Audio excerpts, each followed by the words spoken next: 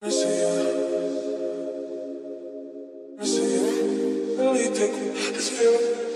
is the latest build of Resurrection Remix ROM on Redmi Note 3 and I'm just gonna show you what's new over here quickly today. So let's do this. The stock launcher over here isn't that great, it's trebuchet launcher and here is the launcher settings and as you can see I completely disabled hardware keys because there is navigation edge gestures now. On this ROM, I'll be showing it to you soon. You can just swipe from the left or right to go back there is no Google Now cards to the left and the search bar on the top is just a widget. So you can definitely install modded pixel launcher anytime as stock launcher isn't very good over here. And this is the 25th June official build guys running on top of 8.1 latest June 5th 2018 security patch and here is the stock kernel name over here. The performance over here feels a lot more stable and smooth now so there are actually zero issues that I found which can hamper daily driving. And with these gestures, you can just swipe up once to go home and swipe up and hold to get recent apps panel. Now let me open up a few apps and show you guys the app open up speeds and RAM management of this ROM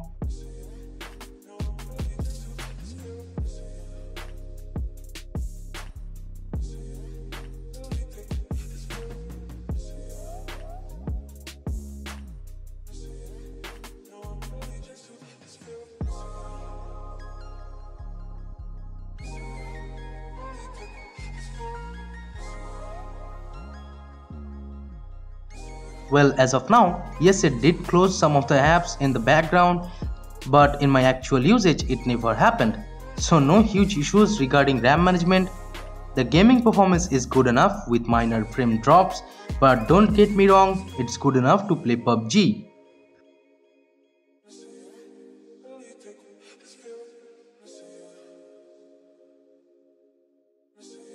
And one more thing that I'm really happy about now is Google Tez and other banking apps works right away. No need to install Magisk or anything. It just works fine. And let me show you from the customizations that I disabled the hardware buttons totally.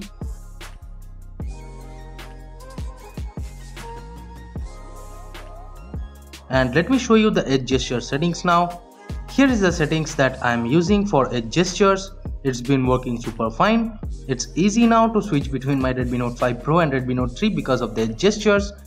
But you need to keep some things in mind that there is no double tap to sleep on the home screen. For the default launcher over here, we do have double tap to sleep on the status bar, but I think double tap to wake is still not there.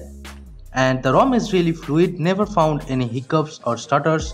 And here are some extra quick toggles that you can edit and add. Sliding a finger on the status bar to adjust brightness is there. And in terms of battery life, in my usage, I would say I got 2 hours of screen on time over here as you can see with 70% juice left. So it can definitely last you a full working day with 4 plus hours of screen on time pretty sure.